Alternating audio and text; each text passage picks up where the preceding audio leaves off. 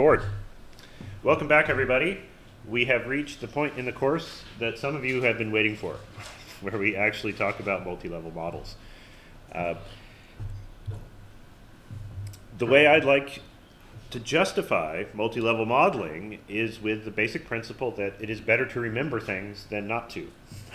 Uh, and so uh, let me tell you this, this um, memory anchor story uh, to help you understand.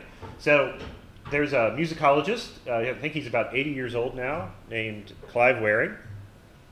And uh, in 1985, he um, got herpes in his brain. Uh, some of you know herpes is an odd virus. It manifests as a different disease depending upon which tissue it infects, but it's all the same virus. If it gets into your brain, it causes, uh, well, whatever kind of brain damage it uh, for the part of your brain it eats. And in Wearing's case, it uh, ate large parts of his hippocampus, and he developed an, a kind of amnesia called anterograde amnesia.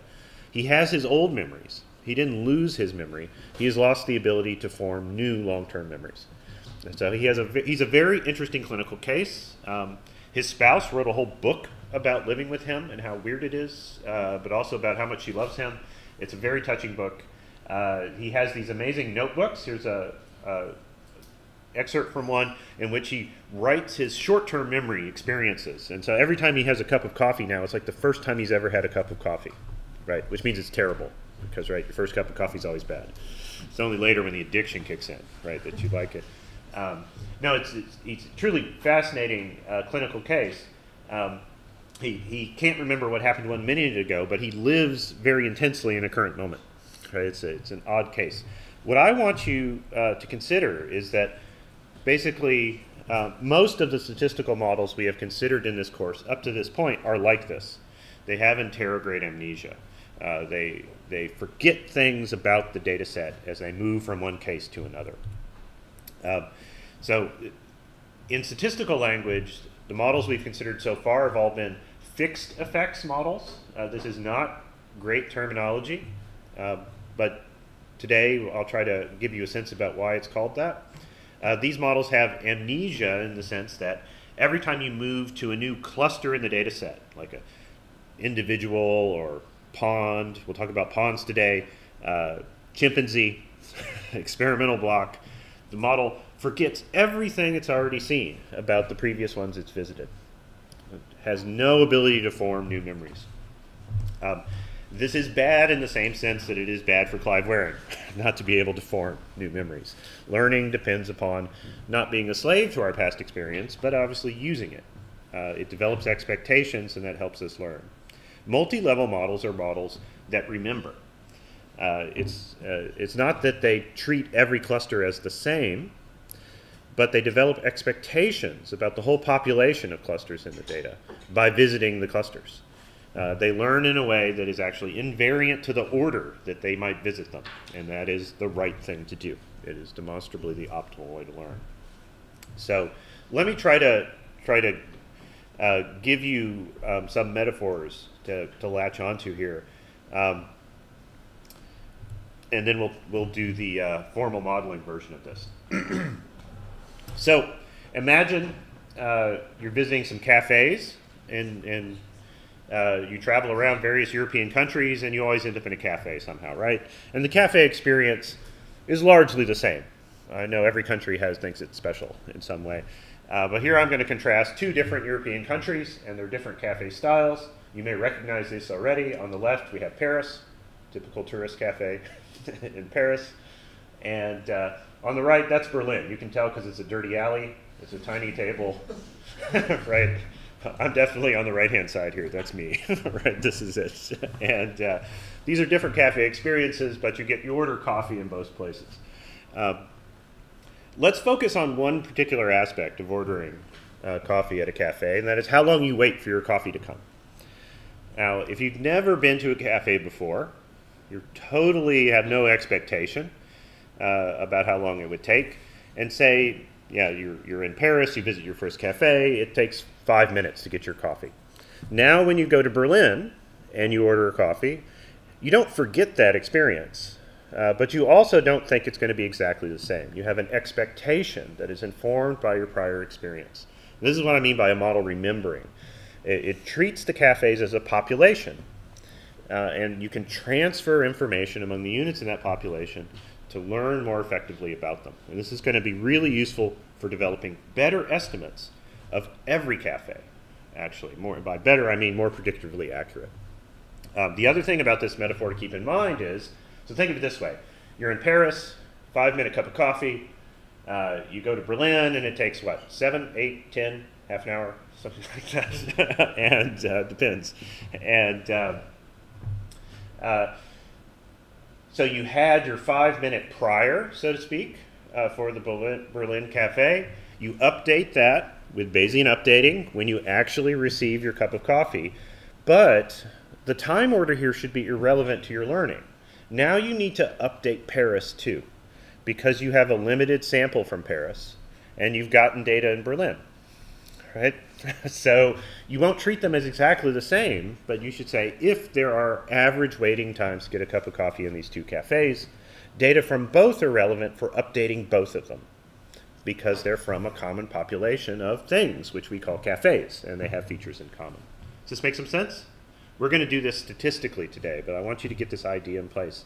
And also that the time invariance, it shouldn't matter the order you visit them. You have to do it all, update it all simultaneously. And this is what machines are good for. Um, how much information you transfer across units like cafes depends critically upon how variable they are. and you need to learn this variance as well uh, as you experience the different units. So let me use a, a different metaphor than cafes for a moment. Um, I used to do field work in East Africa, and uh, I know there's some people in the room here who have also. Uh, and one of the strategies that I had for not getting intestinal infections while in the field was to constantly eat spicy food. I had a pocket full of these things everywhere I went. I know, Jeff, yeah, this is the strategy. These are goat peppers. They're called goat peppers. Pilipili mbuzi uh, in Swahili. And um, they're great. Uh, they're, you buy them for pennies in any market. They're everywhere, and they do fight infection, right? They kill germs in your gut. It's really, I recommend this. As you travel the world, eat spicy food. Um, However, these, these peppers are not completely domesticated in my experience. An unpredictable and exciting thing about them is that their spiciness is quite random. and any particular handful of peppers you might get in the market, one of them could be a dud and you need the whole pepper to taste anything, and then the next one will kill you.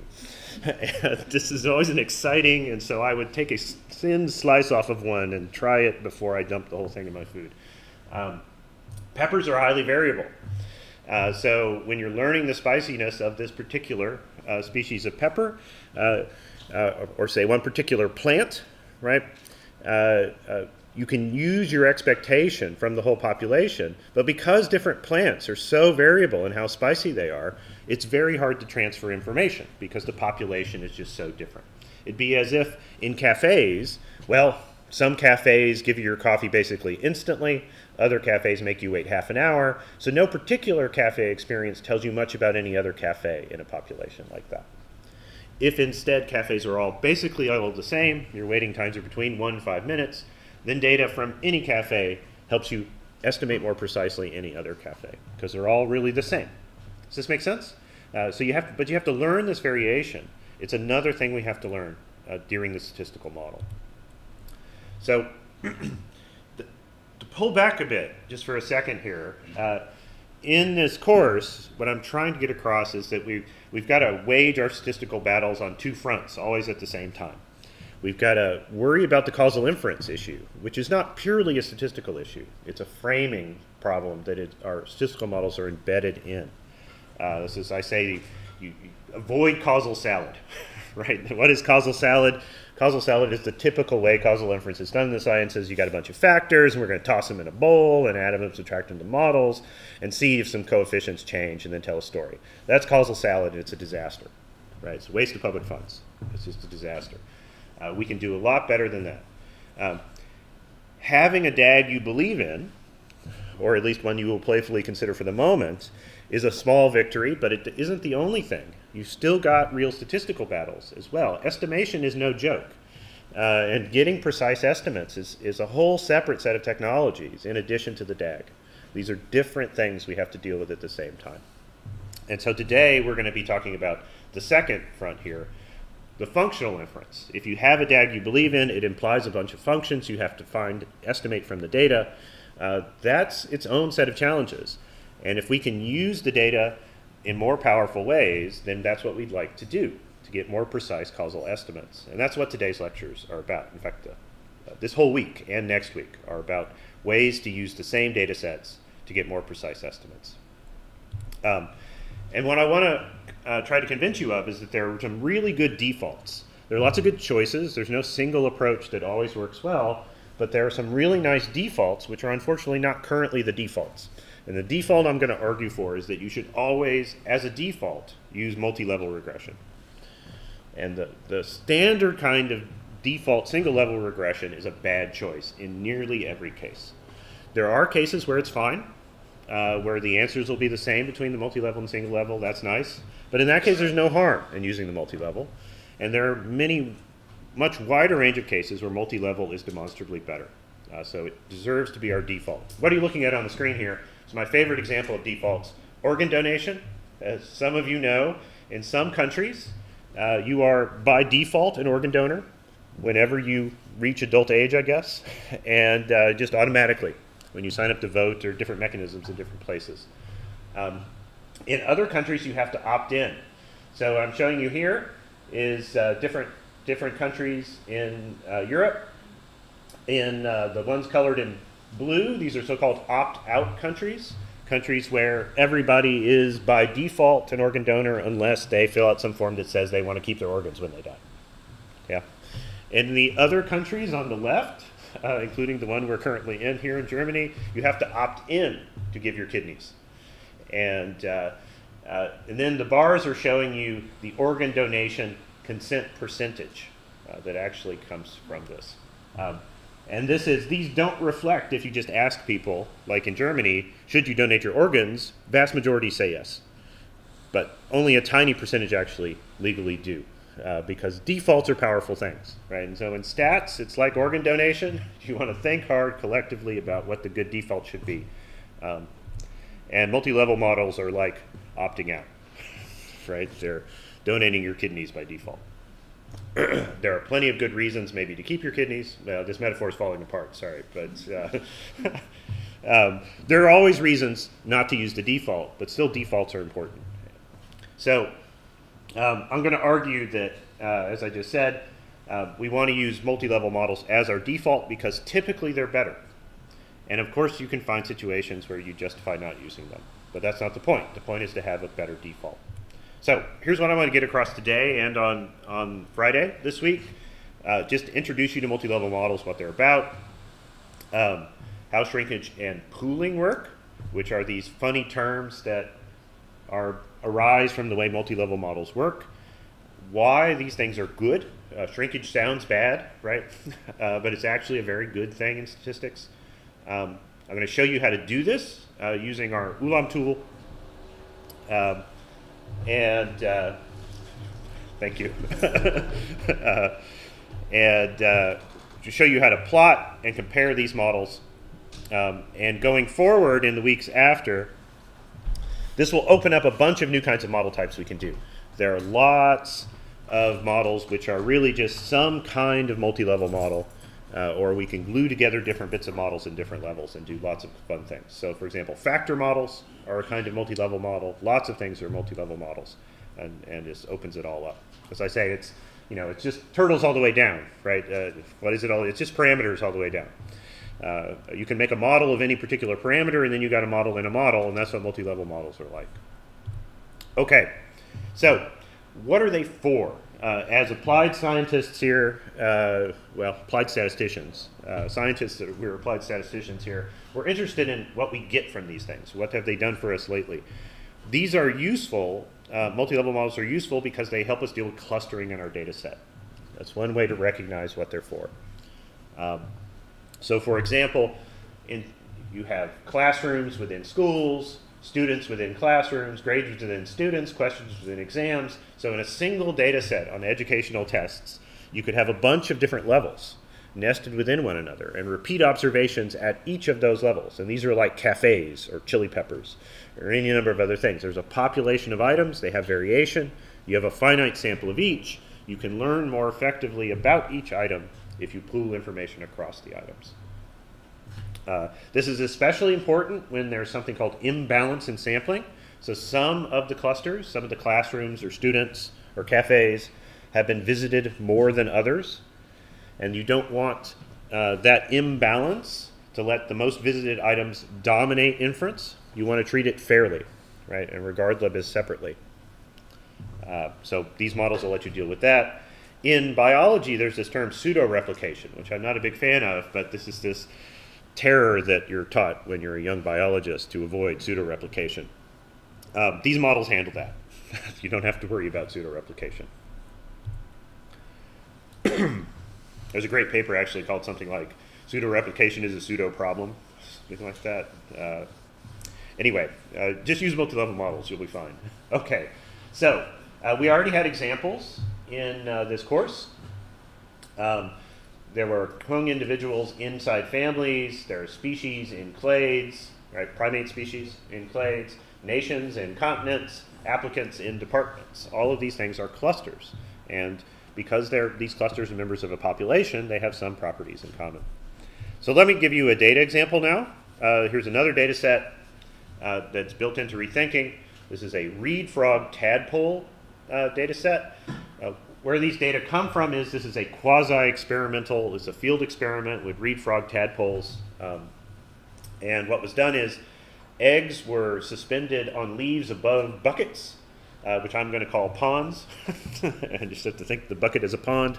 And when the eggs hatch, in the natural ecology of a reed frog, the tadpoles then fall down into the water below where they swim around and eat and grow into happy frogs, right? The cycle of life, it's beautiful. And uh, in this experiment, they get into the bucket, right? Uh, and they're later released. And why? Because the buckets are ways to uh, create little microcosms where you can study the effects of different densities and presence and absence of predators and food supply and other things to understand the growth and development of these tadpoles. Um, and uh, it's a cool experimental data set. So if, if you load the data set, look, you have variables about the numbers the outcome we're going to be interested in is the number of surviving tadpoles in each little bucket. We're going to call them ponds um, in each pond. And there are a bunch of explanatory variables like density, the size of the tadpoles, some are bigger, some are small, and the presence and absence of predators like this uh, insect larva here chowing down on the tadpole. And uh, I'm not sure what that is. Is that damselfly or dragonfly larva? Someone will tell me uh, after they listen to the lecture. Um, we're going to focus just for now not on the predictor variables, but just on the variation and find a credible way to characterize the variation among tanks. so here's the structure of the data set. We've got tadpoles in tanks, buckets, call them tanks, uh, and they're at different densities. There are a different number of hatched tadpoles in each. So there's a different, different maximum number that can survive in each tank. The outcome we're going to predict is the number of surviving. So as you can probably guess, this will be a binomial regression, right? Because we've got a certain number of tadpoles uh, that start and a certain number at the end, which is always, well, it could be the same or smaller. We're going to fit two basic models to this. Um, a model with a dummy variable for each tank, right? This is the kind of model we've done before, kind of thing where there's an index uh, for each tank, and we can fit it that way and a multi-level model uh, with varying intercepts. And I'll show you what the difference is. So here's the kind of model we've done before. Um, we assign, we have an index variable for the tank from one to, I forget how many tanks there are in this data set, um, and, uh, but all of them. So there's a different alpha, and then each alpha is assigned the same normal 0, 1.5 prior. This is a regularizing prior because it's not flat, right? So extreme mortality or survival probabilities will be viewed skeptically by this model because of that 1.5. Right? Remember in, in log odds, you're trained on log odds now, right? Uh, log odds of 4 is always, log odds of minus 4 is never. Yeah. Um, this is a this is a fine model, but it's not a multi-level model. It it has amnesia as you move from tank to tank. The only data in the data set that informs each alpha are the data for that tank only, and it ignores all the others. This is the anterograde amnesia, right? So the model learns about tank one, there's seven tadpoles in it. Using those seven tadpoles, it estimates that alpha, not a lot of data, right? Uh, moves to the next tank, forgets all about that, those tadpoles and what it learned about tadpole mortality there. It's like it was had never seen a tadpole before. Oh, a tadpole, how interesting. And then it counts them, and how many survives, estimates the next alpha, and then the third one. Oh, look, tadpoles, right? And, and, over and over again. This model has amnesia. Uh, we can do better than this. Um, here's how we fit this model, though, just to remind you in the code. Uh, uh, look down at the bottom. At the top, I just set up the tank variable from 1 to the number of rows in the data set. Every row is a tank set up a data list, pass this into Ulam. Um, you've seen all this before, right? No surprises? Now let's try something different. Uh, I've added some stuff to this model and I've colored it blue. Uh, hopefully that's helpful. And let me step through the new bits uh, piece by piece here. Alpha J is still there, um, but what I've done is I've made it into this magical thing called varying intercepts. Um, and I've done this by inserting parameters inside the prior. So where there used to be a 0 and a 1.5 there, there are now two new parameters. There's this alpha with a line over it. We're gonna, when you see a line over a, a parameter, you should say the word bar, right? Because it's a bar. Uh, that means an average. It usually indicates there's some average. This is a, a parameter by itself. It's not an average of the other parameters. It's a parameter in and of itself that we're going to estimate. But the bar there is to give you an idea that it represents the mean alpha in a pop statistical population that we haven't observed, but that we sampled tanks from. So alpha bar. And then sigma, which is the standard deviation in this population. So each alpha j, where j is a tank, has this prior uh, with a mean alpha bar and standard deviation sigma. And then for these new parameters, we have to give them priors. So it's priors inside of priors. This is what a multi-level model is like. And we give alpha bar our standard uh, logit regularizing prior, 0, 1.5, and then uh, sigma is an exponential 1 regularizing prior. Why would we do this? Um, so what are varying intercepts? These are also called random intercepts. Uh, those of you who've spent much time with me, you know I dislike the word random intensely uh, because it's just like a mind trick, right? What does random mean? It means you can't predict it. That's all it means, right? There are no random physical processes that we study. Um, I prefer the term varying intercepts, but that isn't that doesn't really tell you what they're about either, uh, because the other intercepts also vary. Uh, why why are these suddenly varying? Uh, this is just terminology, and you just have to learn it. Uh, what's distinctive about this model and the fact that there are parameters inside the prior is that means you learn the prior from the data. I'll say that again. What's distinctive about this version of the model and the fact that there are parameters in the prior is that now we're going to learn the prior from the data. Right, so we're going to regularize. We like regularization. It gives us better predictions. Uh, but before it was like you just had to make up how much regularization you were going to do. Now we're going to learn that amount of regularization from the data set itself. And this is like visiting the cafes. Uh, as you visit the cafes, in order to to transfer information across, you have to figure out how variable they are. And as you're learning the variation among them, you pool more or less information across. Because you, you basically you're learning whether they're all the same or not. And that, that does the pooling. So you're learning the prior as you go at the same time. Um, so here's, here's my trying to make fetch happen moment again at the bottom of this slide, right, where my failures to create uh, uh, new terminology. So if, if uh, the other model has amnesia, then this this is a mnestic model. Uh, yeah, I know this is fetch is not going to happen, but um, still, it'd be nice if we could go back in time and change terminology, right? But we can't. So here's your uh, uh, what I just told you. We've got alpha sub j is normal now with a parameter for its mean and a parameter for its standard deviation, and we have to learn those. We get posterior distributions for those parameters from the data, and then each of those has a prior the prior of a prior, right? A prior of a parameter that's in a prior is called a hyperprior. Uh, I know. It's just, it's like I said, it turtles all the way down, right? It's just parameters inside parameters. they're all just priors, um, and you already know how they behave. It's just that they're feeding up now, and there are multiple levels of inference going on at the same time. And that's why we call these multi-level models. It's like there's two levels in the model. Uh, you'll notice that the line for alpha j looks like the top line, right? You've got some variable on the left, and it has a distribution, which is a function of other variables. It's like the top level. So this is why it's a two-level model now. Um, the fact that the alpha j's aren't observed is irrelevant. Uh, Bayesian inference works the same on observed and unobserved variables. Okay, the way to read this in English would be the survival across tanks has some distribution. This distribution is the prior for each tank, uh, and that distribution has its own prior, uh, which is the alpha bar and sigma priors. In code, you can just uh, modify this to get it. Uh, so here's the multi-level model version of it. You just write what's up there into Ulam as literally as you like. Uh, so again, uh, the logit line stays exactly the same. And then for the alpha tank line, you just stick symbols in where there used to be numbers. So now we have A bar and sigma. And then you write the two priors for A bar and for sigma. And that's it. And then it works. Uh, so the, the Markov chain will obey this model just like it obeys the other one, and it will deal with both levels simultaneously. Does this make sense? For the moment, good? There are faces of concentration in the audience, which is always flattering. Uh, good? I appreciate that this is like weird stuff. Uh, I think one of the challenges in learning multi-level models is there's the changes to the model, like what you see on the slide, and then there's all the terminology. Suddenly there's all these new terms, and they don't seem to make much sense. And the terms just come from history, and there's nothing I can do about them. I have to teach them to you right? I, would be, I'd be betraying your trust if I didn't teach you all this terminology.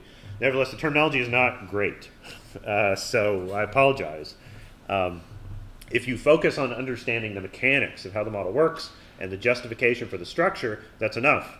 And you can kind of let the terminology slide and just realize, just ask people what exactly they mean when they use a term like random effects. Say like, show me the model, right? Don't just tell me it's a random effects model, show me the model.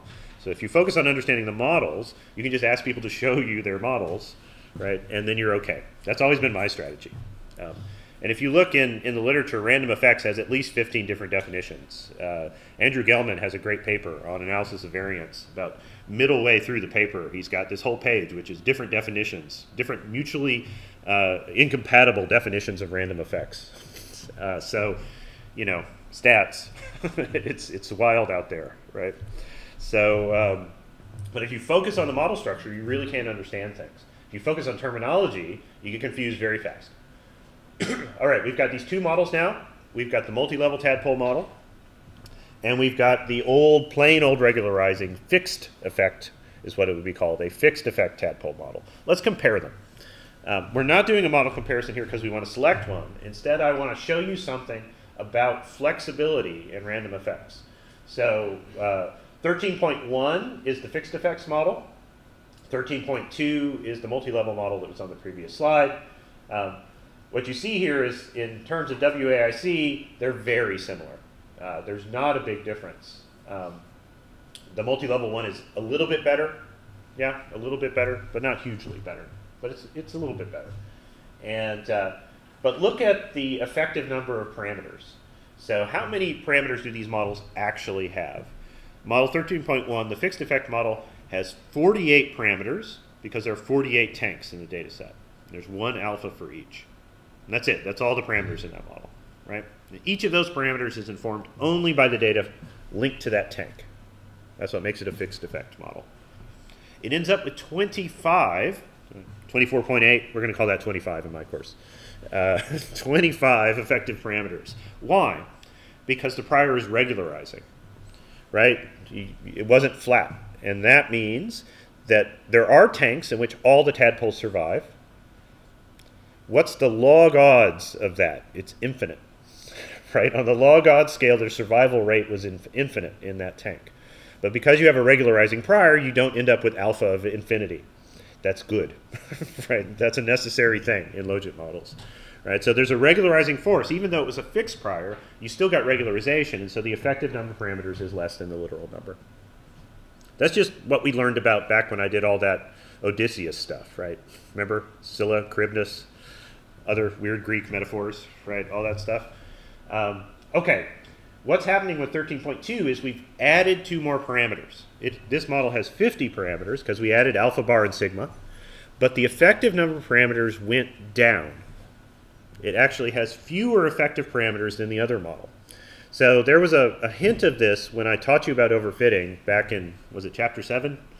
Um, weeks ago, is I had this caveat where I said, every time you add a parameter to a model, the fit to the sample improves, uh, unless you have a multi-level model, right? Um, what multi-level models do is the structure among the parameters is different. And now when we add parameters, we can actually get a worse fit to sample, but a better expected out of sample performance because they're, they're, the, the extra parameters are regularizing devices. They learn how regular to be from the data itself. Uh, so in this case, we add two parameters, but we shed three effective parameters because the regularizing prior ends up being narrower. Yeah, understanding the, the population. Is this cool? Maybe you don't understand it exactly, but I think this is one of the coolest facts in statistics. Um, and it, it betrays all of the kind of basic stuff you're taught in intro courses, right, about how parameters function and degrees of freedom and all that stuff. All this stuff's fine. It's just a very limited view on actually how machines learn from data. Actually, how machines learn to learn from data involves all kinds of complicated embeddings and deep learning. That's a phrase that I'm not a big fan of. I like deep learning models. I don't like the phrase deep learning, right? It sounds like sorcery. It's like snake oil, right? But uh, deep learning works because it's deep, because you've got parameters stacked on parameters and lots of layers of, of neurons and things. And the cool stuff that deep learning can do is because, well, the parameters do stuff like this. And they regularize and do other kinds of cool things inside the network. Okay, let me stop this sermon and move on. Uh, so let me show you graphically what this looks like. We're going to compare the fixed effect tadpole model to the multi-level tadpole model. What you're looking at here across the horizontal is all 48 tanks, buckets, but I'm saying tank to glamorize this a little bit.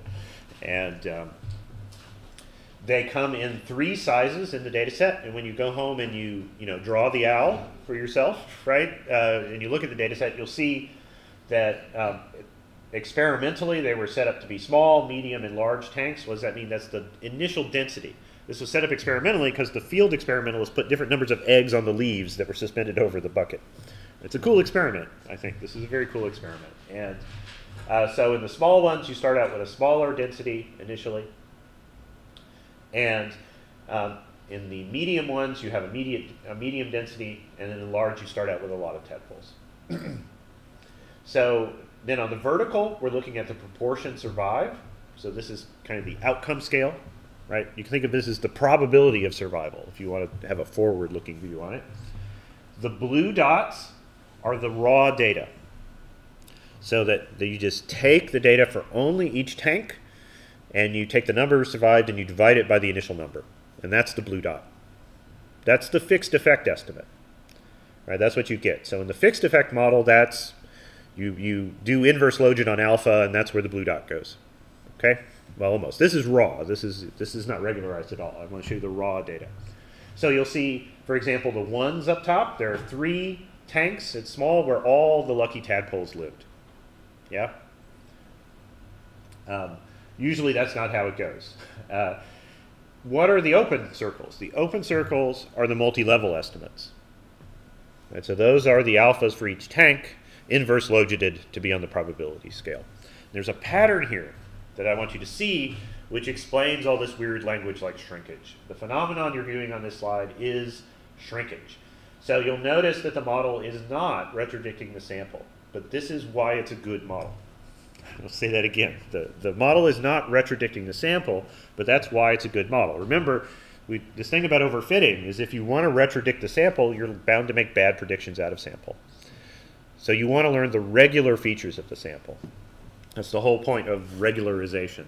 Uh, so what a multi-level model does is it has a regularizing prior that it has learned from the data by learning how variable the units are so that it knows how much it should treat all the units as the same or not and how much information to pool across. And that generates this phenomenon called shrinkage. So we'll move slow through this. So just focus on the small tanks for a second. Um, wait, I think I focus on those in a second. So let me Uh, what's that dashed line? that is um, the population mean um, that we have estimated from the data, the alpha bar that we've estimated. So uh, the raw mean, which I now put in here in red, is in a different place. Why are these in different places? Why is alpha bar, which is the statistic, which is the mean of some statistical population of tanks we've estimated from the data, in a different place than the raw alpha? Where, where's that raw mean come from? It comes from taking all the tadpoles and putting them in one big pile and then just averaging the survivorship. The reason is because there's imbalance. There are more tadpoles in the big ones on the right. And so they bias your population estimate because the survival rate is lower at high densities. In a population of tanks, the mean would be different because the densities vary. Right? So you can't just pool all, if you just pool all the data together and estimate an overall survival rate, you're estimating the wrong thing. Yeah? It's like estimating the admissions probabilities across all departments. Right? It's the wrong thing. It's a fine question for some things. Uh, maybe that was your question. What's the total survival rate in the whole population of tadpoles? The red bar is the right thing. But if you want the mean in a population of individual tanks, it's not the right question. Does this make some sense? Um, okay. now let's focus on small tadpoles. All right, small tanks.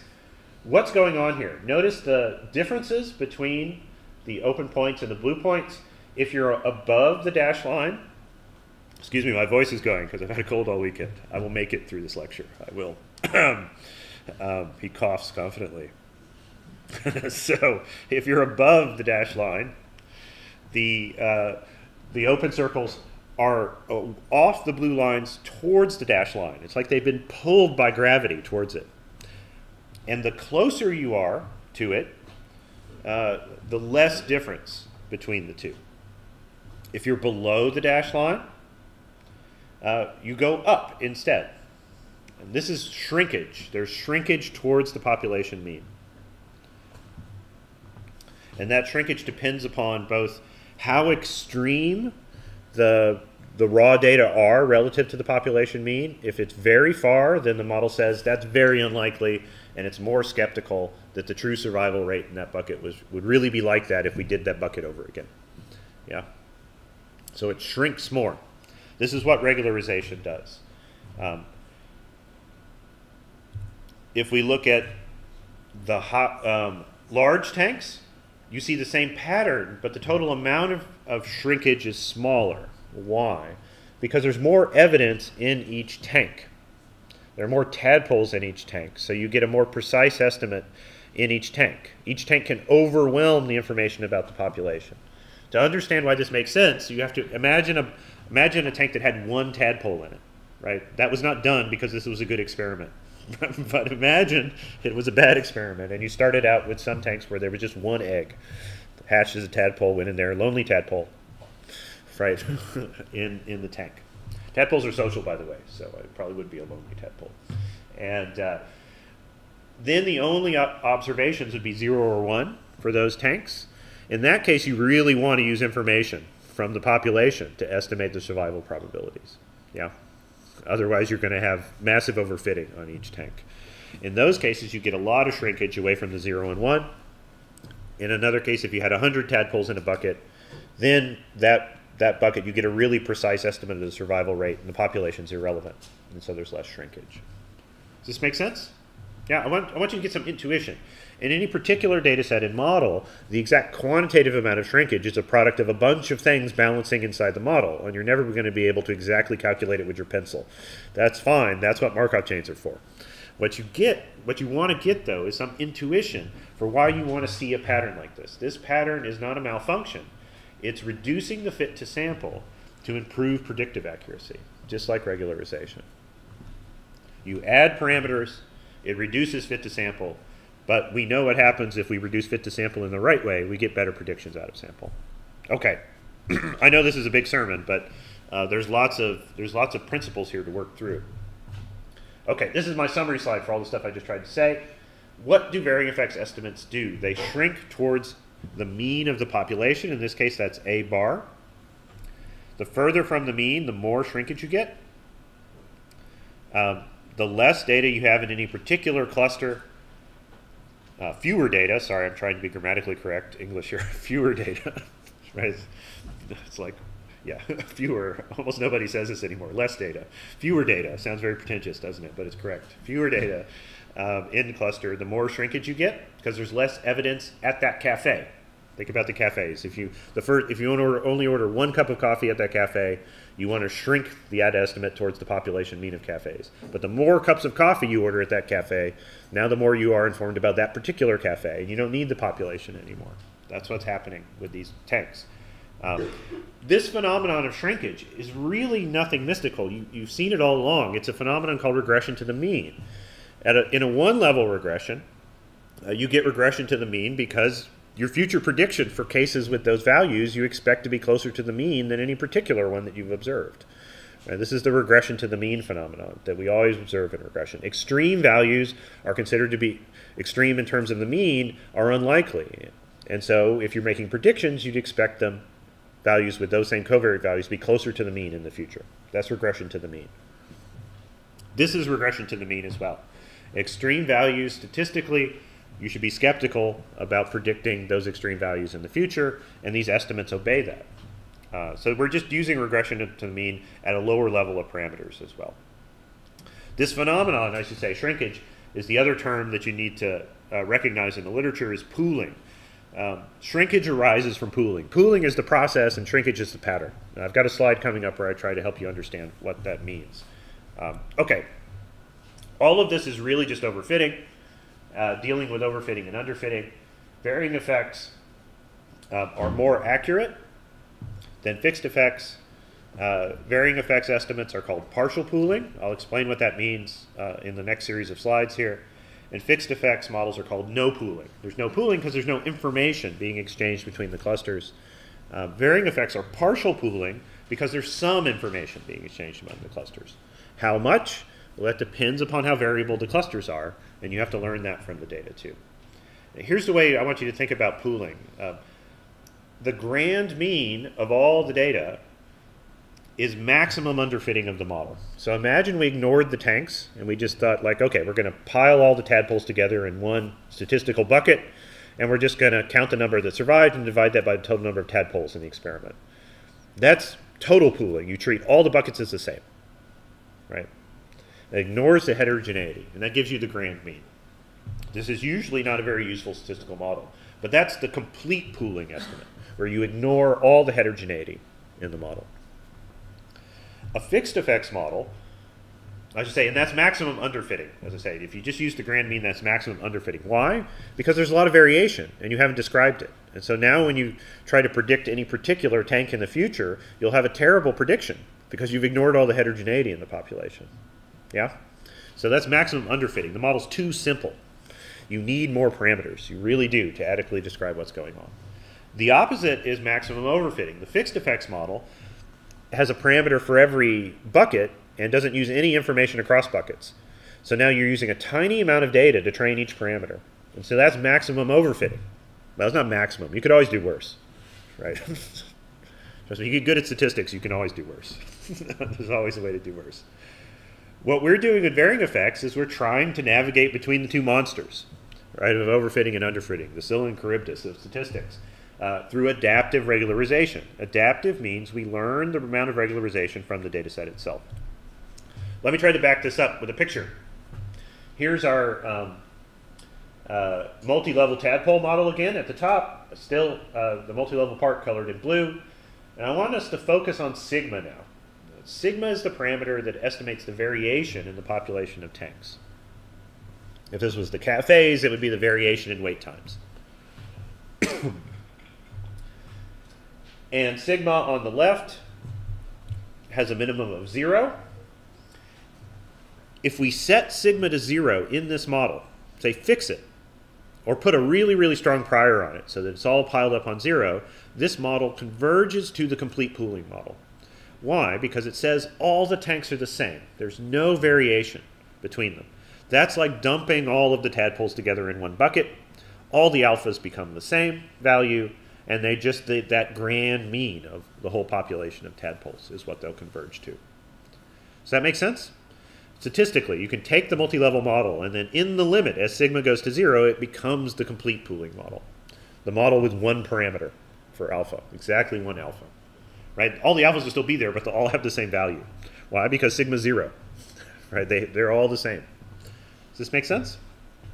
Uh, on the other extreme, we have infinity. Imagine that's infinity, right? I know it's off the slide, but infinity, right? For illustrative purposes, that's infinity. Um, if sigma goes to infinity, what happens is you get the no pooling model. You get the fixed effect model. What a fixed effect model is effectively statistically assuming is that all the tanks are infinitely different from one another because that's the only distribution that would justify learning nothing among them, transferring no information among them. Does that make sense? So you have to, to understand this in a bit, is if you have to violate your intuitions in a second because you're a lot smarter than a statistical model is. you are. Intuitively, as a vertebrate, not, well, it's like vertebrate chauvinism here, but let's, let's roll with it. As a vertebrate, invertebrates are smart too. I know I'm going to get hate mail, but so as a vertebrate, as you go from cafe to cafe or bucket to bucket, you do this pooling. I'm not saying you do it exactly like this model does, but you do it, and you would never just ignore the variation. Your brain won't let you. Uh, but the statistical model will not do that unless you program it to. So it's this difficult thing about statistics is you've got to train the model, the robot, the golem, to do things which to you are intuitive and you never realized you were doing. This is a very hard thing in doing statistical modeling, I think. Uh, and so in showing you this sigma line, what I'm trying to tell you is that if you want to program a little robot to borrow information across clusters, then you can't let sigma be infinity. Uh, letting sigma be infinity is the only kind of golem where it won't transfer information across them. And sigma 0 is also a bad golem. That's one where it doesn't recognize any differences. And everything in between is some different amount of regularization, of pooling of information between the buckets, right? Where the estimate for any particular alpha, for any particular tank, is going to be a mix of the data in that tank and the population, the rest of the data in all the other tanks. And the weight of that mix, how much of it comes from the data in that particular tank and how much comes from the rest of the tanks, depends upon the variation in the tanks. In the case where there's no variation in the tanks, then the whole population is all that matters. And the data in that particular tank is ignored. It's just the whole population is used in place of it. In the case where sigma goes to infinity, you ignore the population. In between, it's some combination of the two in some carefully balanced Bayesian dance, right, of how it works out. So in this particular model, uh, we estimate sigma, of course, from the data. And um, it turns out to be this posterior distribution here. It's a little, the mean is like 1.6, I think, something like that. But you know, it's not certain. We don't know sigma uh, we have a posterior distribution for sigma, and your estimates are going to average over that uncertainty because it's Bayes, and everything gets averaged at the same time. Um, I show you the prior here too. That's our exponential one prior. It has a really long tail. it goes on for a while. Um, we learn a lot about the variation from the data here. You see, we get an almost Gaussian. It's not quite Gaussian, but almost Gaussian posterior uh, for sigma. Um, and that is the extreme amount of regularization that gets induced by this right? Sigma 1.5 is very close to the thing we had said before, but now it could be bigger, it could be smaller. Uh, we've learned the variation from the data itself. Is this good? Does this make some sense? Yeah? Intense phases of concentration today, which is good. Yeah. Okay, what does this population look like? We've learned an alpha bar and a sigma.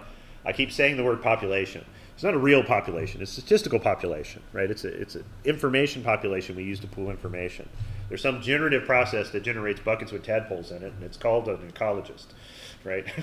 uh, but those processes generate a population with real mortality effects. There's real cause and effect relationships here. And this statistical population, we can draw it. So early on in the course, I kept saying the posterior distribution is full of lines, right? So it's got alphas and betas in it, and those combinations of alphas and betas produce lines. In the posterior, those alphas and betas are correlated, and that's why you need to draw correlated samples from the posterior to accurately represent what the model thinks. This is true in all models. Now the posterior distribution does not only have lines in it, it has whole functions, whole distributions. It's now a distribution of distributions. Yeah, good times? So uh, alpha, alpha bar, and sigma define a distribution of tanks, of mortality effects that could that would exist in a population of tanks. And we don't know that distribution for sure. Instead, we've got a distribution of distributions. So let's draw that distribution of distributions. This is where English needs some grammar, right? That's what I would give for a dative, right? right? So uh, we can just draw uh, correlated pairs of alpha bar and sigma from the posterior distribution and then draw them as densities. And that's what I've done on the left here. This is that Gaussian distribution. Why Gaussian? Because we said it was. Gaussian distribution of log odds mortality, or survival rather, um, in the population of tanks. So remember, zero uh, is 50%. So you'll see that most of the tadpoles survive in this happy experiment. Yeah? They were sheltered by a bucket. right? But there's a lot of heterogeneity in the experiment, in the whole population of tanks as a whole. In some tanks, they were near wipeout. In some tanks, all of them survived. So there's a lot of heterogeneity, and you can see that uh, in this distribution. And then on the right, I've transformed that whole population into um, the outcome scale, a probability of survival. And you can see uh, if you transform this with inverse logit, you get a prediction that there's a long tail of sad tanks. Um, but a lot of the tanks, about half of them, you get really high survival rates. And that's what we see in, in the data. Does this make some sense? Uh, but this is what you need to do to understand what the model thinks. So you can just plot this distribution and see it. And we'll do this with future examples as well. okay.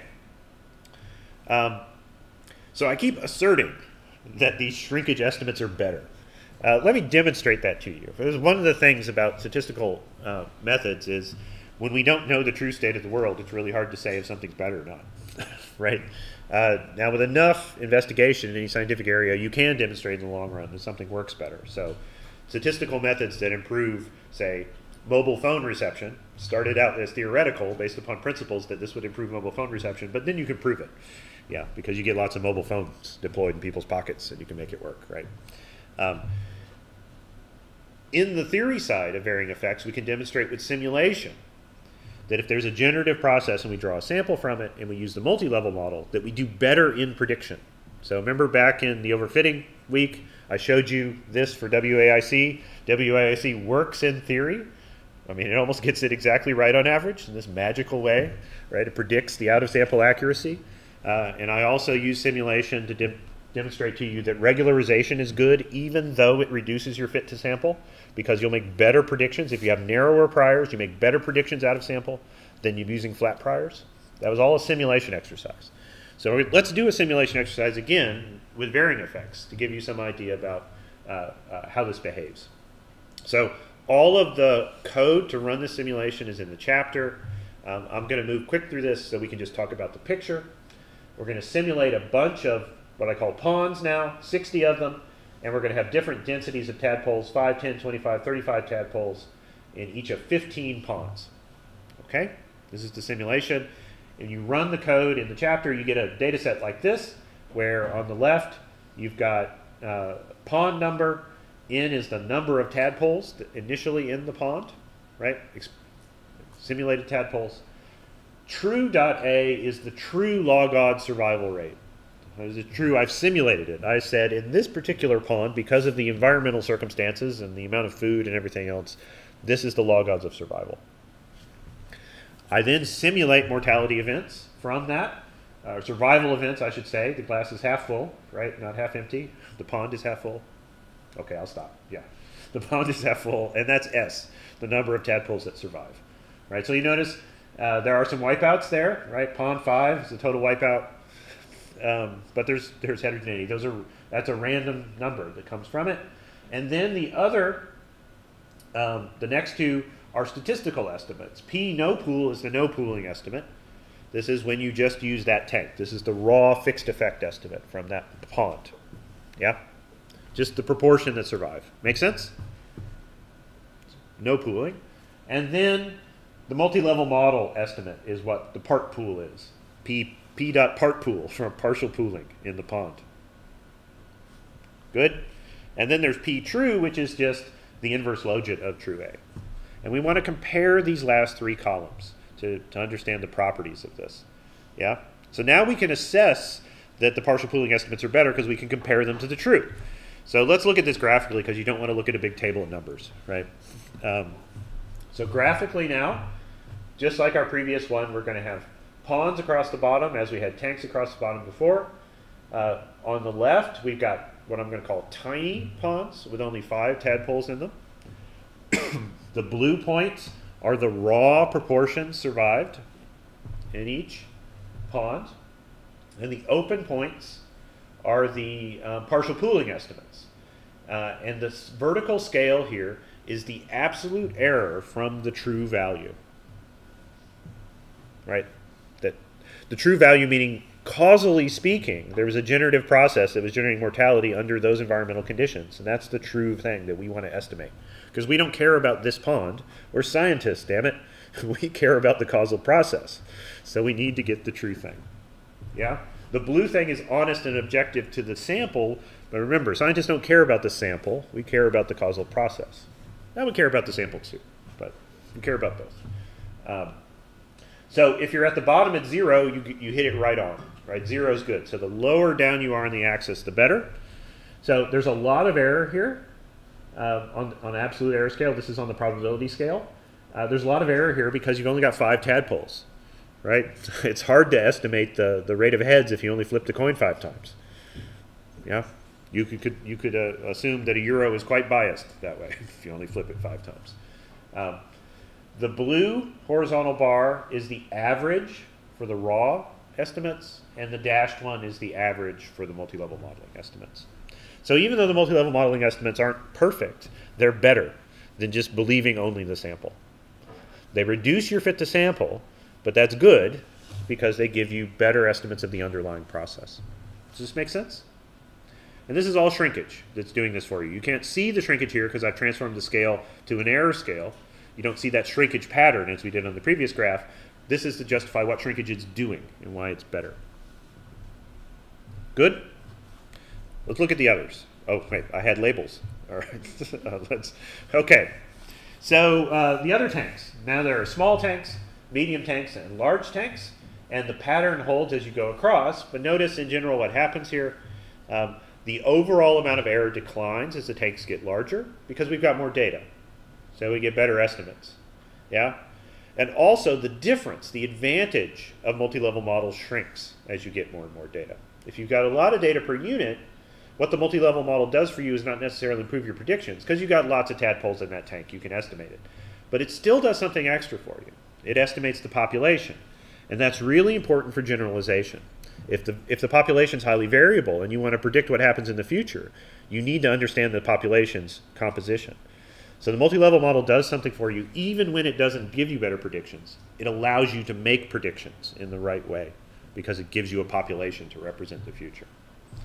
Okay, I have an infinite number of future slides, uh, but this is an excellent time to stop as my voice is about to give out. Uh, let me queue up. Uh, when you come back on Friday, we're going to come back to my favorite data set in the course, the prosocial chimpanzees, and we're going to make multi-level chimpanzees all over the place. and I'm going to show you how this works in a data set you already understand so we can compare it to what you already saw. All right, thank you, and I'll see you on Friday.